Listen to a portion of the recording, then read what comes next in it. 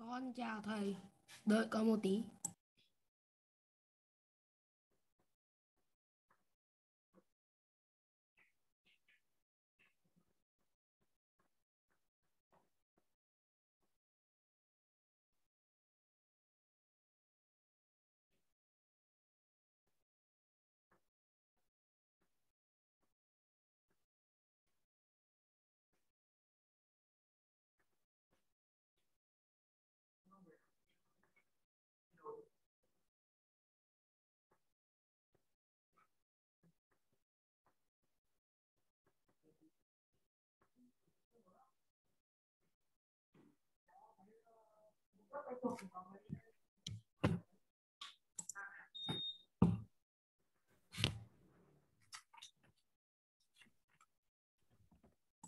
Chưa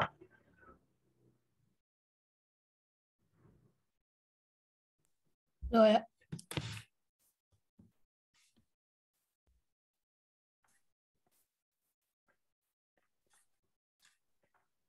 nào thầy dặn gì về học đã học chưa Rồi. Thuộc hết chưa Rồi thầy. Thế có áp dụng mà làm được không Có. chắc chưa Chắc rồi.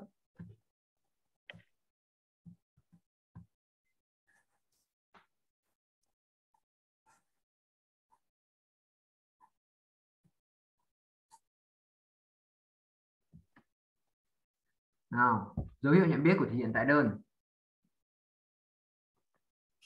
Trong đây dấu hiệu nhận biết của hiện đại đơn là away, usually, often, sometimes, đấy gọi là gì really. Đây là gọi chung với đấy là gì tần tần suất ạ. trạng từ tần suất gì nữa và trạng từ chỉ thời gian. ừ. Trạng từ chỉ thời gian gì nữa Theo con là hết rồi.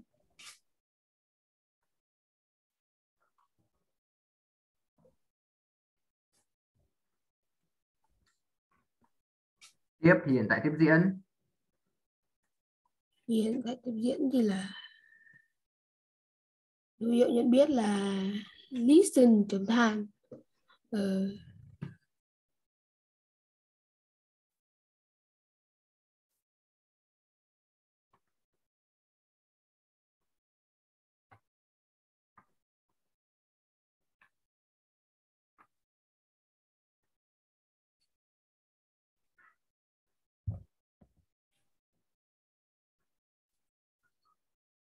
Ờ,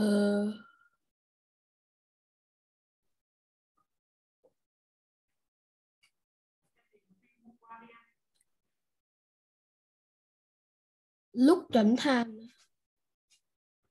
What? Chấm than. Be.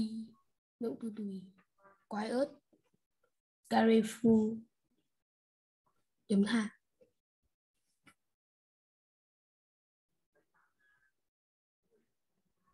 Gì nữa?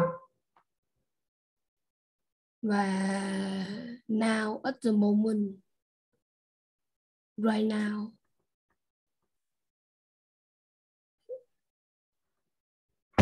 At present.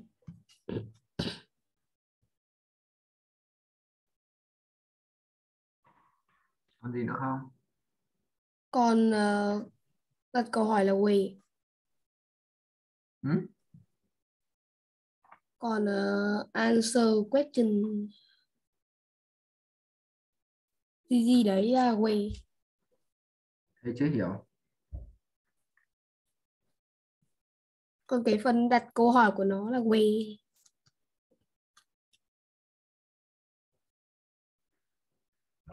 nào thế buổi trưa nó học cái gì nữa nhỉ? Từ buổi trước học ở dễ gì à there is dùng khi nào? There are dùng khi nào? Dễ ít dùng với danh từ số ít. Dễ à dùng danh từ số nhiều.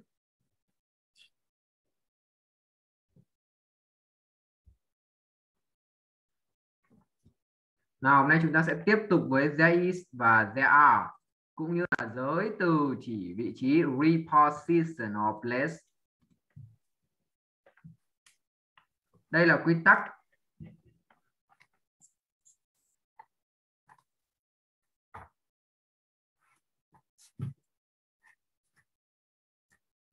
chúng ta sẽ thêm as, hoặc ias để thay đổi từ số ít sang số nhiều. Cái quy tắc này là thầy hướng dẫn rồi, đúng không?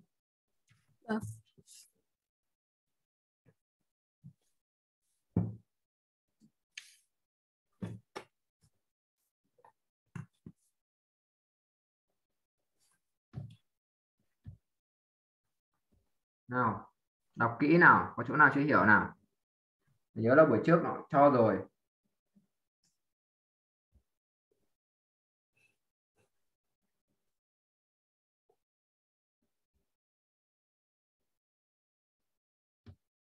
Câu Y là gì hả thầy? ừ? Câu Y là gì? tức là nhá tính từ mà nó à nhầm danh từ mà nó kết thúc bằng gì vowel Vâng. vowel là gì Sau. vowel là gì nhỉ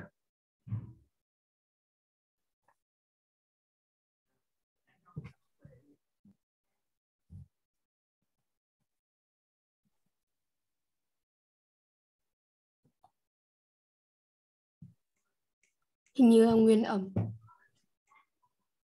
vowel nguyên âm tức là những danh từ mà nó kết thúc bằng nguyên âm Được. cộng với y dài Vâng. nha nguyên âm cộng với y dài thì thêm s Vâng.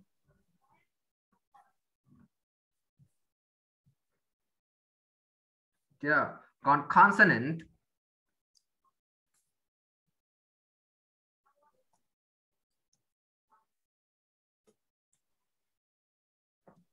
consonant là gì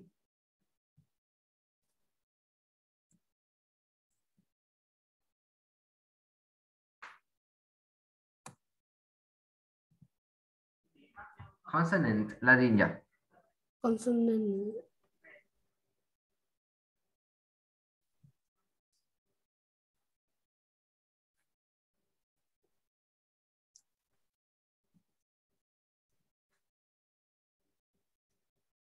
Là gì nhỉ?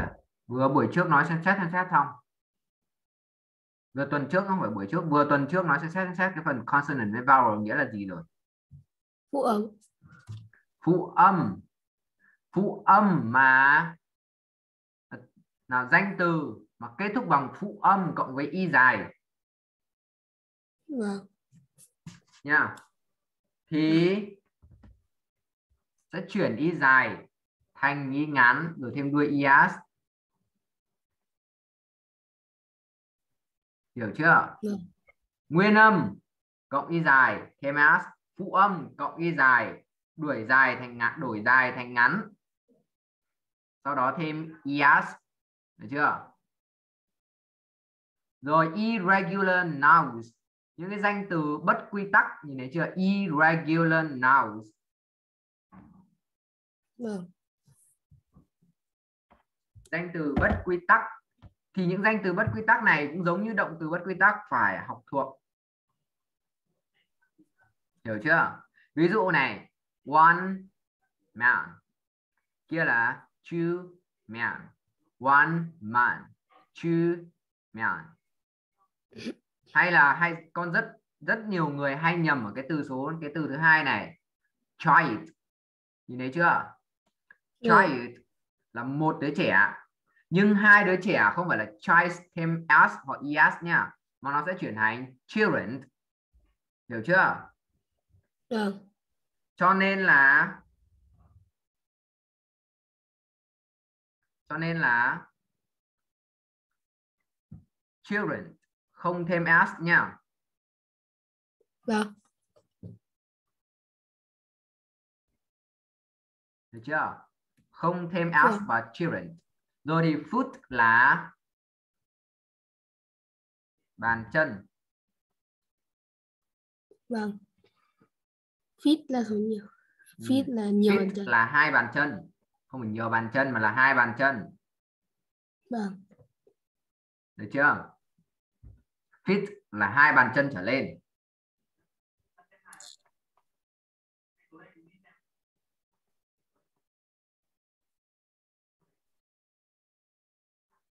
tiếp đến teeth là một cái răng. Teeth à nhầm tooth là một cái răng. Còn teeth là răng hàm răng. Được chưa? Vâng mouse là con chuột đây. Mouse con chuột nha. Một con chuột. Nhưng nhiều con chuột sẽ là mice. Rồi đây này cái này rất hay nhầm đây này. Cái này rất hay nhầm đây này. Person là một người nha. Nhưng people nhiều người. Vậy nên là people không thêm s nha. Được Vâng. chưa? Person là một người. Chuyển sang số nhiều là people. Và nhớ cho thầy từ child và từ person là hai từ này rất là đặc biệt được chưa? Nó thay đổi đi rất nhiều. Child nó chuyển thành children. Person thì chuyển thành people. Hai cái này là con hay gặp nhưng con hay quên. Vâng hiểu chưa? Children vâng. là những đứa trẻ. People là nhiều người. Rồi. Đây. Cũng giống như kiểu trên y dài. Thì bây giờ dưới o cũng như thế. Đấy. Đúng không? O thì có trường hợp thêm s có trường hợp thêm es đúng không? Thì cũng vowel cộng với o là gì? Vowel cộng với vowel là gì nhỉ? Nguyên âm cộng phụ ờ, nguyên âm cộng ừ.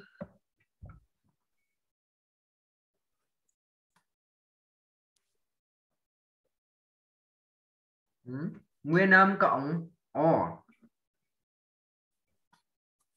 Vâng nguyên âm cộng ờ. Ờ là gì nhỉ còn consonant cộng o là gì? Phụ âm cộng phụ âm cộng o. Nguyên âm cộng o thêm s phụ âm cộng o thì thêm es Ừ.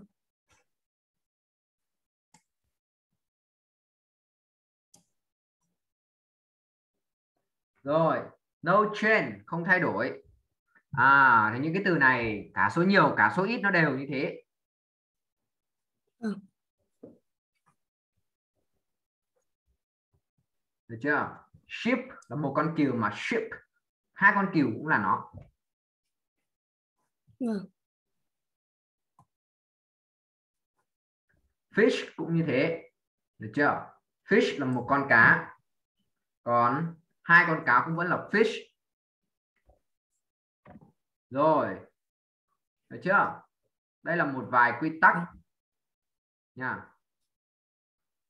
À đây cái này con chưa biết đây. Cái mà nó kết thúc bằng chữ F đúng không? Hoặc là FE nhìn thấy chưa? Rồi rồi. Đây trên này quên chưa nói đến cái hàng trên này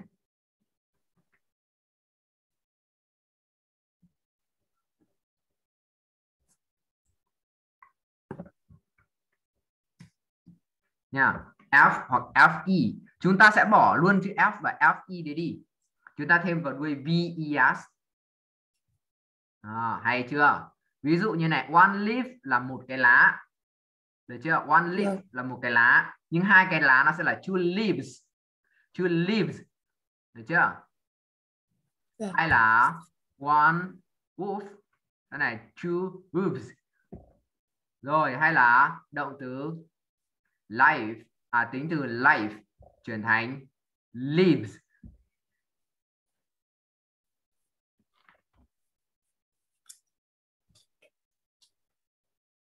quá khủng khiếp.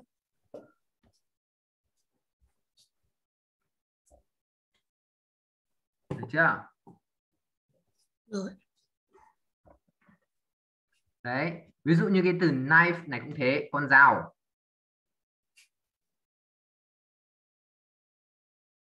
two knives là hai con dao. À đây có trường hợp đặc biệt này. Có hai cái từ này rất là đặc biệt đó từ roof và từ cliff.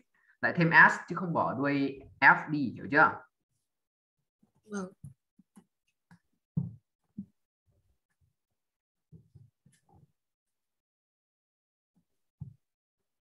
đấy roof là mái nhà. Nhiều mái nhà sẽ là roofs roofs.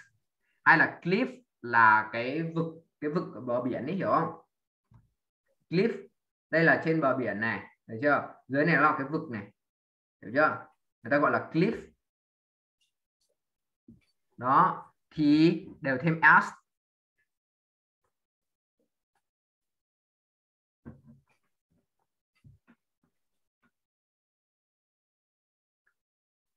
nào. Ví dụ này there is thì cộng với uncountable nào uncountable nghĩa là gì? Uncountable. à chưa gửi từ mới nha. Con quên mất. Lại quên. Uncountable là gì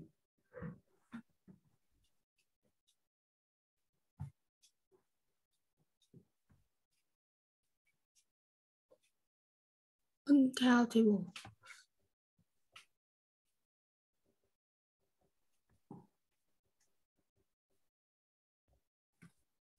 ừ, mình mới học rồi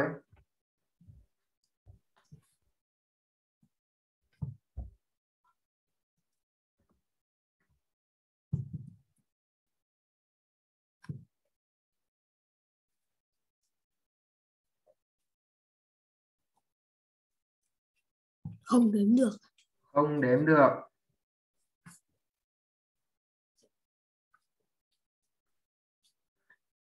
There is, cộng với danh từ số ít và nó lại còn không đếm được.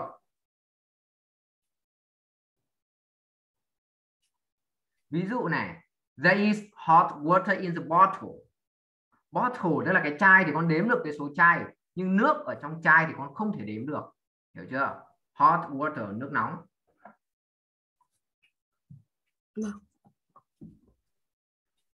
Gì there is some rice left on the plate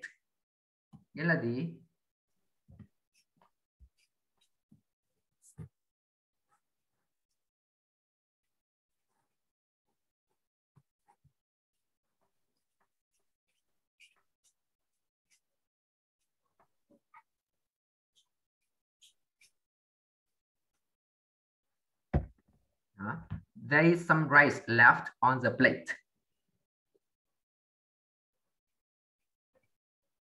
Còn một chút cơm dính ở trên thừa ở trên đĩa. Hay là milk là gì? Sữa. Fridge.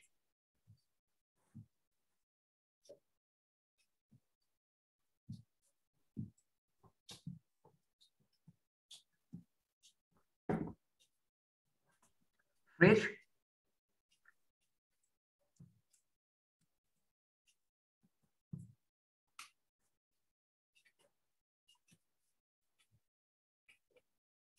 Fridge nghĩa là gì?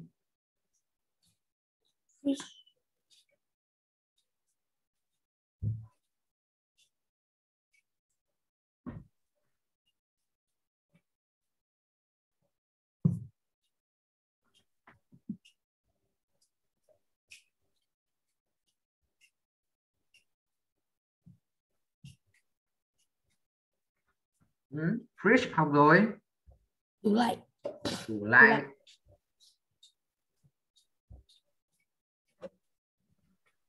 Coffee.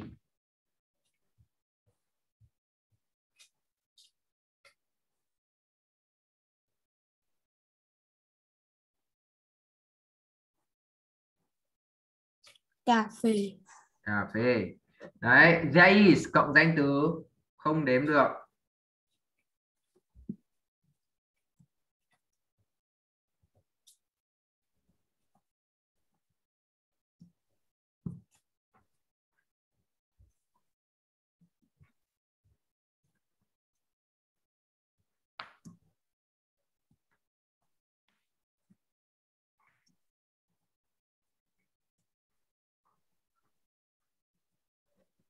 Ghi vào chưa? Chưa xong rồi.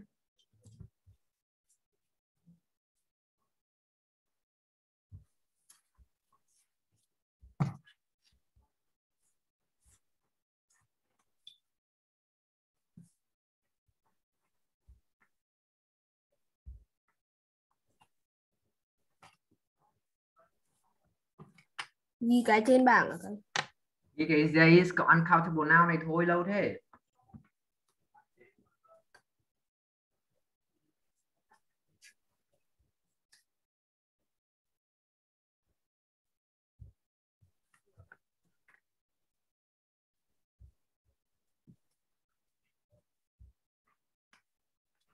xong rồi bờ ru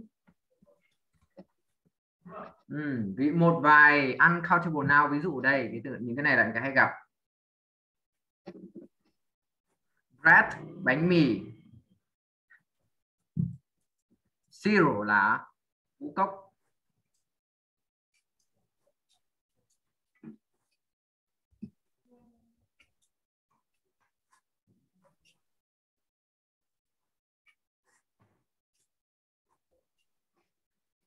Được chưa? Một vài những danh từ không đếm được ở đây chúng ta hay gặp.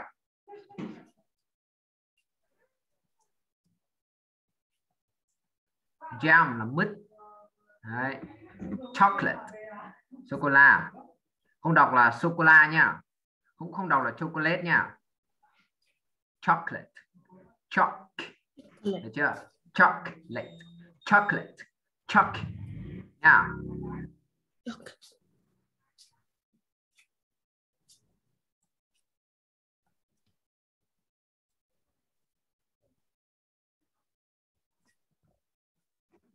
Chocolate.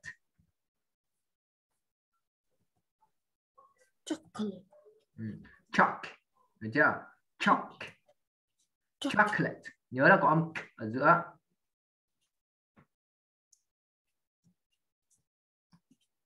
Chocolate. Chocolate. Đấy. rồi. Bây giờ chúng ta sang dạng câu hỏi. Yes no questions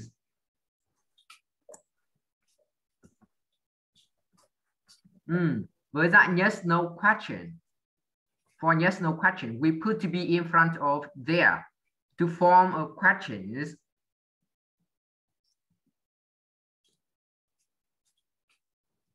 Use any with question for plural nouns and uncountable nouns. Short answer will be these and there.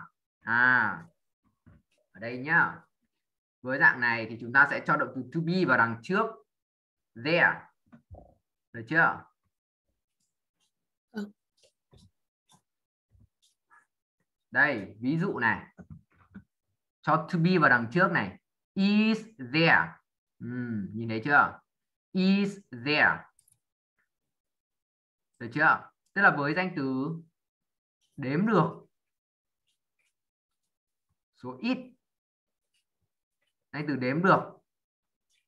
Hoặc là à, danh từ đếm được và hoặc là danh từ số ít được chưa? Ừ. Ừ. Sẽ là is there hay là are there? Được chưa? Rồi. Còn chúng ta sử dụng any any với danh từ số nhiều. Ừ. Số ít thì không có any, nhưng số nhiều phải có any. Ví dụ này, are there any students in the class? Lúc này chúng ta nhìn thấy từ students nhiều hay ít nhỉ?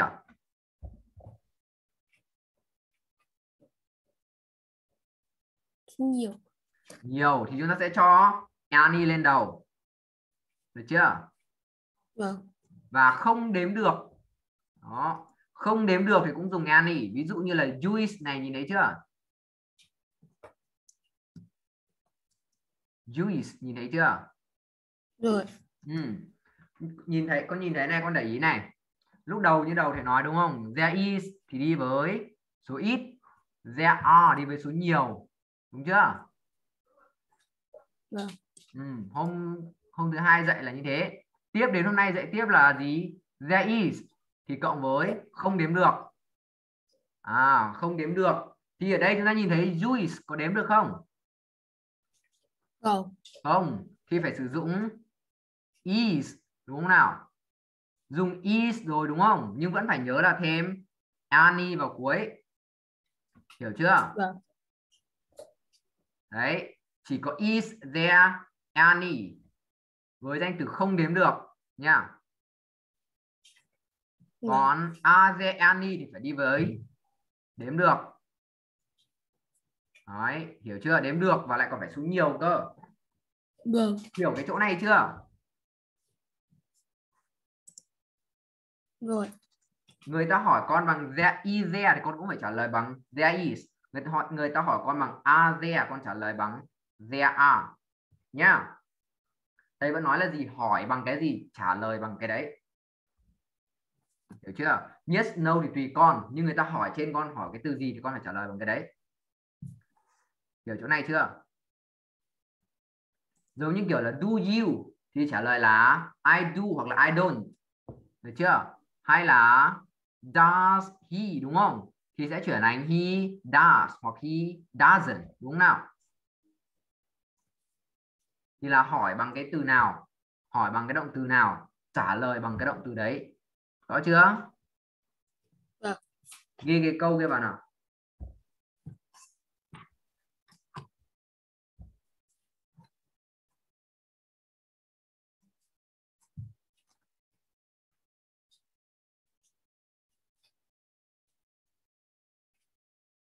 Câu question này á thầy. Ừ. For question với câu hỏi à với dạng có không nha câu hỏi có không nha yes no question là câu hỏi có không nha Vâng.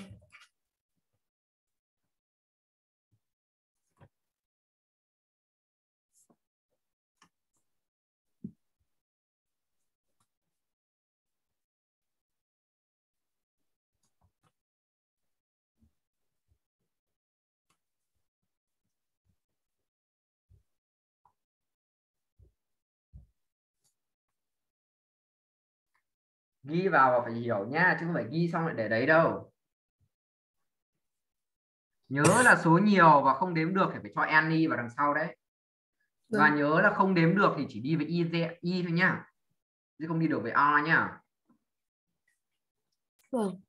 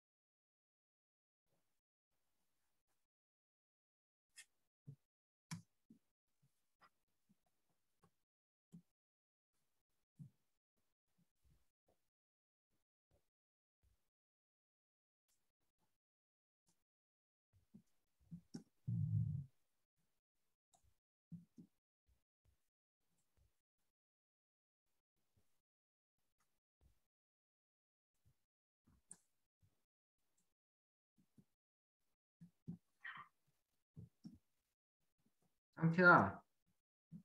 Chưa có mấy cái từ đấy thôi mà lâu thế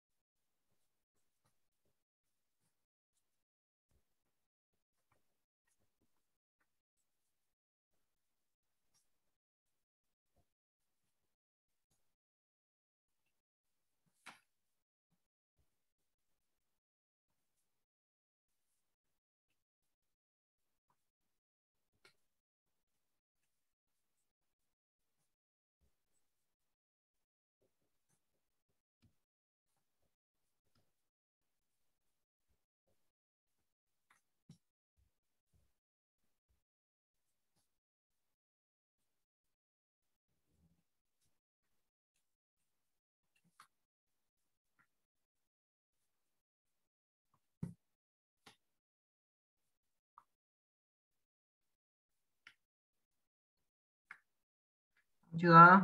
Nhanh nào. Lần xong rồi.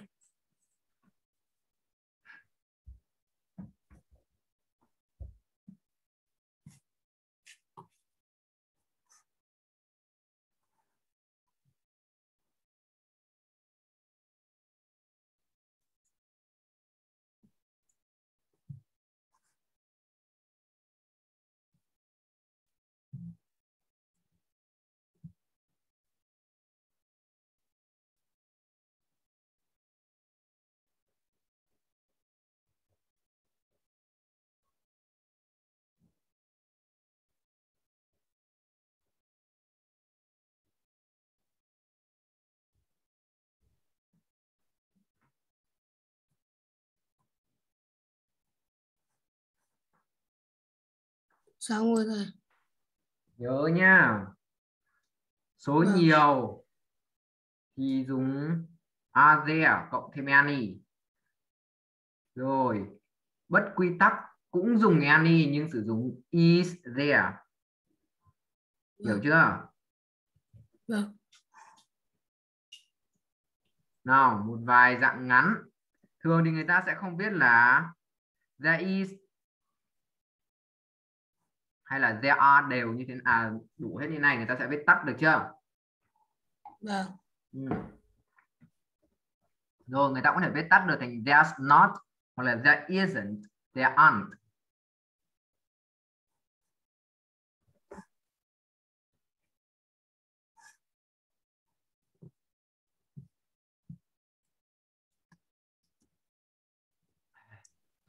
Được chưa nào? Đây là một vài dạng ngắn.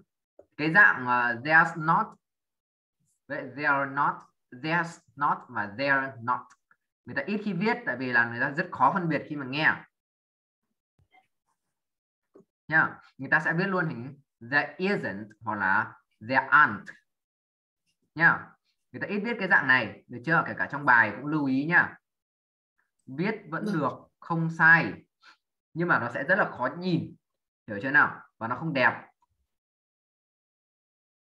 hiểu chưa vâng Ừ. Và nhớ này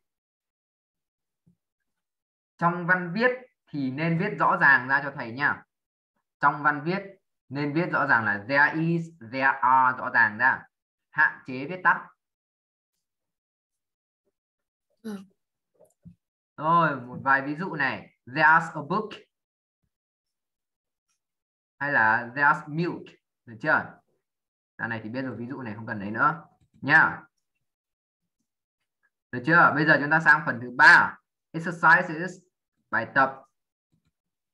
Now add is, are, er, and some, any to complete the sentences. Rồi bây giờ làm 5 câu cho thầy trước. Nào đọc làm nhanh nào.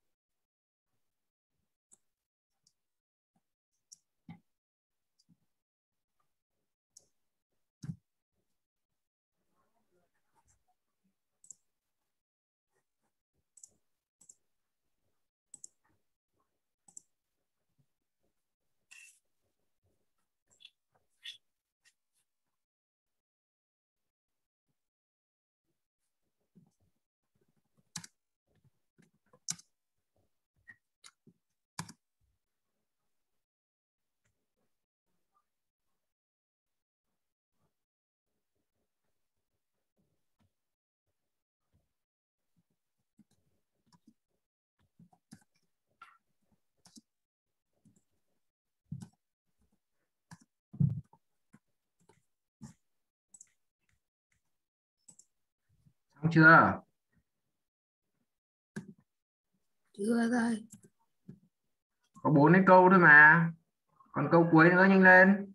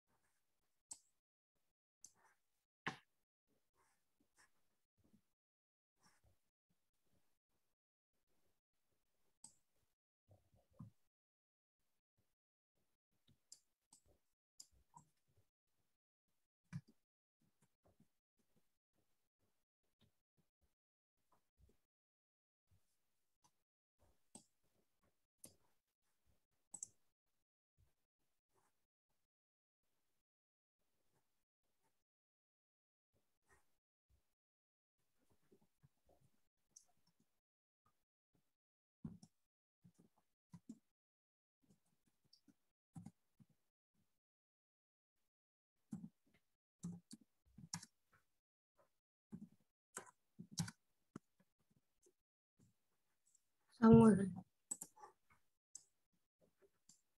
Điền đúng chưa?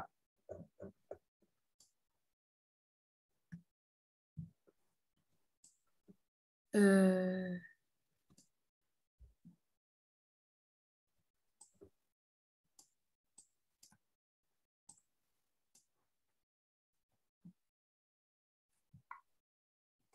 Cái câu số 2 này là đáp án nào đây?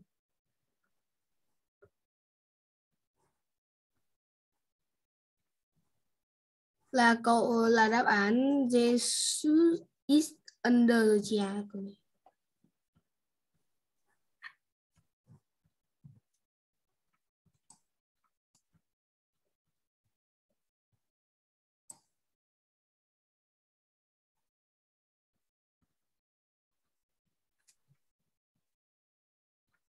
Chắc chưa? Nào, chưa lắm thôi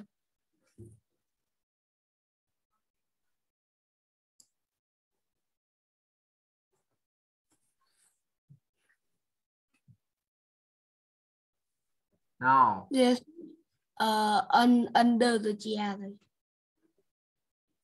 Ừ? cái câu hai ấy thôi Nào bây giờ sửa lại đúng câu 2 nhanh lên.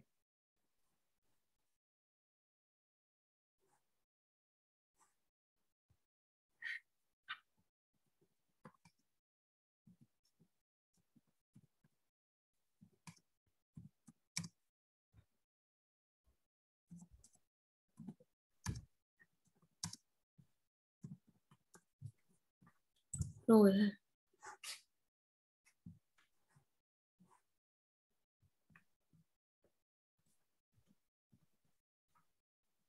Câu trên này xóa đi nhá. vâng Nào, number one.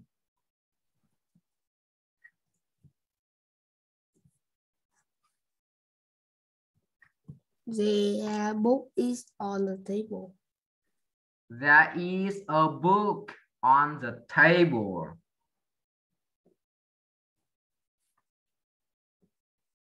Đã nói là gì? Sau there đi với to be cơ mà.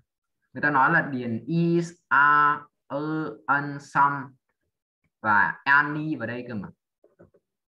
Tôi không hiểu cấu trúc à?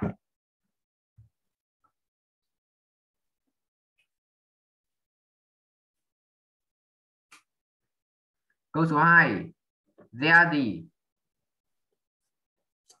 There is an there is a shoe under the chair. shoes này nhiều hay ít đây?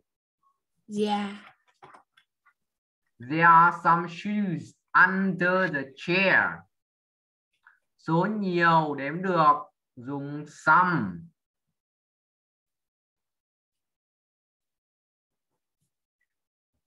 There are some shoes under the chair. Câu số 3 nào. Sao có hai there ở đây?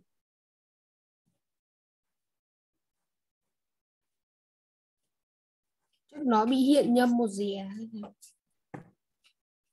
There is not a TV in his room hoặc there isn't.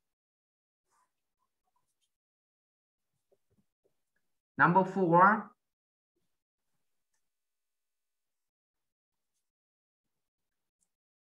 There aren't any pens on my desk. Số nhiều đếm được phủ định phải có thêm any. Thế này là không không học rồi đúng không? Không học bài buổi trước rồi đúng không?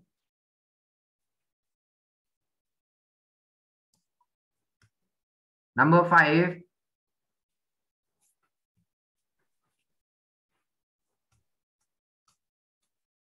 There There gì đây nào?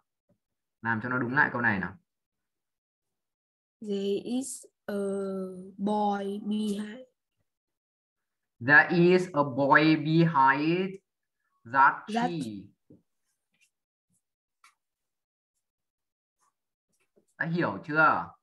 Sau there phải có động từ to be. Nha.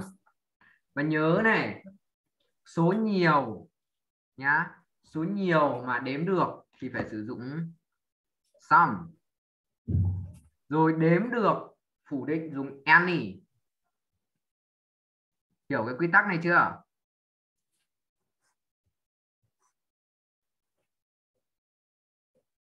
Rồi. Nói lại xem nào.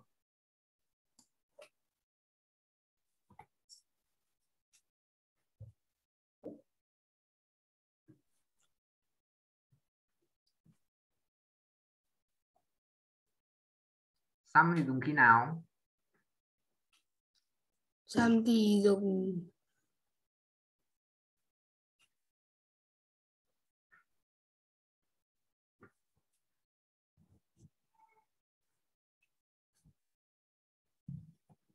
Đấy.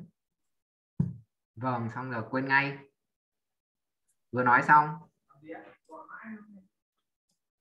Some dùng với số nhiều đếm được.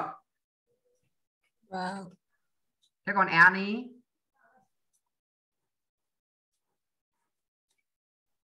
any dùng với dùng với số không đến được. ừ? pants nghĩa là gì kia?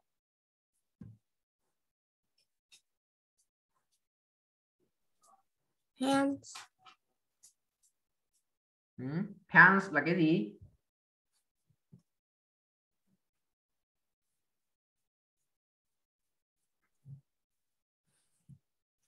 Pants là cái gì nhỉ? hands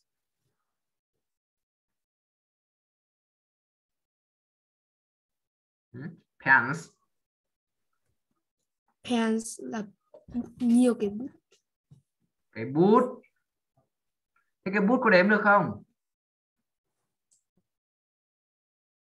có Thế có. Thế any dùng khi nào? dùng khi để đếm được Như thế nào nữa? và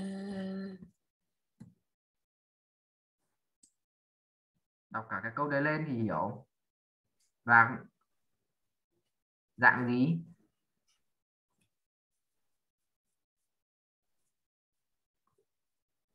Dạng gì đấy? dạng dè Sao lại dạng, dạng dè dạng gì? dạng gì phủ định dạng cơ mà dạng phủ định số nhiều đếm được dùng any. Còn số nhiều đếm được thì dùng some dạng khẳng định. Hiểu chưa?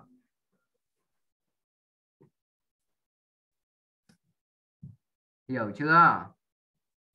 Rồi nhớ là ở dạng câu hỏi thì dùng cả any và dùng à dùng any cho cả số nhiều và cho cả không đếm được nhá. Vâng. Về nhà học lại quy tắc.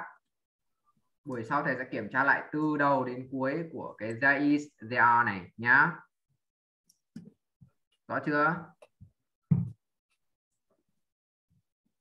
Rõ chưa? Vâng. Từ mới nha không nhắc nhiều nha trong ngày mai trước 8 giờ tối ngày mai. Nha dặn rồi đấy từ mới học thuộc quay video viết câu ngắn vận dụng cái từ đấy. Rõ chưa? Vâng. Thầy không yêu cầu phải viết câu dài câu phức tạp nhá viết được câu ngắn và sử dụng được cái từ đấy cái từ đấy. Rõ chưa?